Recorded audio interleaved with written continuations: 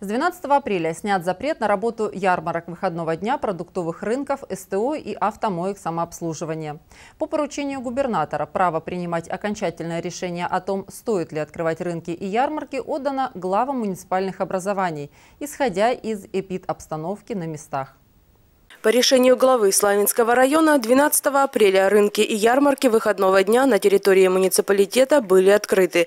Однако, прежде чем приступить к работе, они были проверены на соблюдение всех санитарных норм и требований специальной комиссией, в состав которой вошли руководитель муниципалитета Роман Синеговский, главный санитарный врач по Славянскому району Сергей Смоловский, специалисты Роспотребнадзора, заместители главы района, представители управления по торговле. Согласно требованиям, перед открытием открытием. Территории рынков должны быть обработаны дезинфицирующими средствами. У всех работников и предпринимателей, торгующих продукцией, обязательно измеряется температура. Торговые места размещаются с учетом дистанции. У каждого предпринимателя в обязательном порядке должны быть дезинфицирующие средства. Работать они должны в масках и перчатках. Объявили, что начался карантин. Мы сразу же приобрели большой запас моющих средств, дезинфицирующих, приобрели маски, приобрели термометры дистанционные, э, градусников накупили.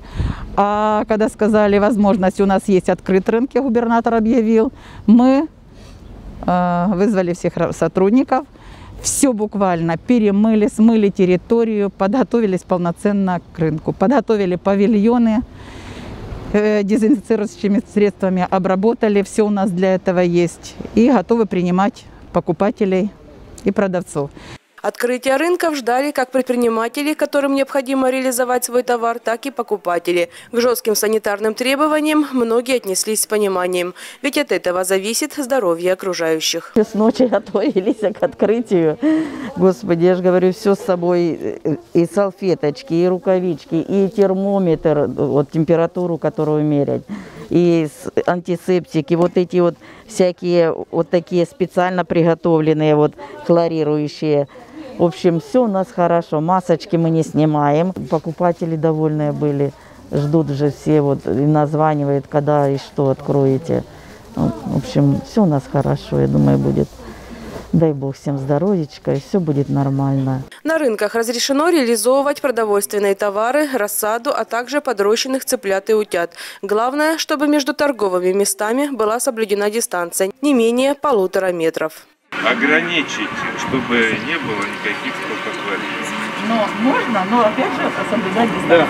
Да. Дистанция должна соблюдаться и покупателями, посещающими рынок. Кроме этого, настоятельно не рекомендовано ходить за покупками гражданам старше 65 лет, а также брать с собой детей. Не стоит рисковать их жизнями.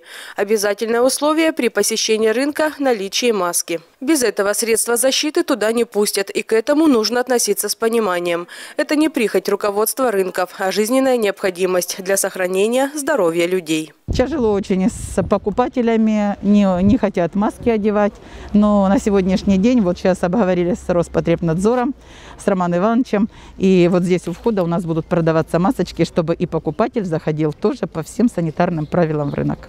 Комиссия побывала и на оптовом рынке. В ходе его осмотра торговых павильонов было высказано несколько замечаний по санитарному состоянию территории. Поэтому было принято решение 12 апреля рынок не открывать. Для того, чтобы как-то облегчить участь наших сельхозтоваропроизводителей, было принято решение попробовать открыть рынки. Центральный рынок, оптовый рынок, новый рынок. Вот мы сегодня посетили центральный рынок. Э, значит, э, приятно, что все нормы и правила санитарии э, выдержаны на сегодняшний день, то есть начали работать. Что касается оптового рынка, мы вместе с главным санитарным врачом Сергеем Александровичем Осмоловским высказали ряд замечаний, где предложено руководству сегодня еще потратить день для того, чтобы выполнить те рекомендации, которые были в предписании главного санитарного врача. Потому что работать мы сможем только тогда, если будем четко соблюдать те правила, которые сегодня в этой ситуации э, мы обязаны все соблюдать. Поэтому это и маски, это и расстояние между э, и торгующими, и посетителями, покупателями не меньше двух метров. Это ряд других рекомендаций, где средства и все остальное. Поэтому только при четком соблюдении, без, безукоризненном соблюдении норм и правил мы можем попробовать работать. И то это если не будет в целом ухудшаться ситуация эпидемиологическая в крае и в Славянском районе. Все замечания были устранены, и сегодня оптовый рынок уже работает. Открыл свои двери для покупателей и Николаевский рынок. Его территорию также обследовала комиссия. Сколько человек будет торговать здесь? Человек, ну, Ну, да, от 5 Раз, до 10. два, три, Сколько у нас четыре, предпринимателей? пять, шесть, семь человек. Между ними есть расстояние? Абсолютно. Тут на- весь рынок 7 человек. всего. Семь Ага, человек. Тут один стоит. Не, понятно, ну нормально, это нас это устраивает. От руководства Николаевского рынка, где многие предприниматели занимаются реализацией живых цветов, поступил вопрос о возможности торговать этой продукцией. Пока такого разрешения нет. Цветы не относятся к товарам первой необходимости. Возможно, что-то изменится после 18 апреля. Сейчас же процесс продажи живых цветов можно организовать только дистанционно. Дать вам какое-либо разрешение по этому поводу мы не можем, но можем рекомендовать. Ну, пускай они потихонечку начинают. Здесь должны у вас быть объявления соответствующие, куда обратиться по приобретению цветов, чтобы они могли позвонить, да, и могли бы оформить этот букет, привезти на дом соблюдением всех правил. Еще раз обращаем внимание, посещение рынка возможно только в медицинских масках. Ходить туда надо в случае острой необходимости. Не брать с собой детей, соблюдать дистанцию. Эти меры направлены в первую очередь, чтобы защитить вас от возможного инфицирования COVID-19.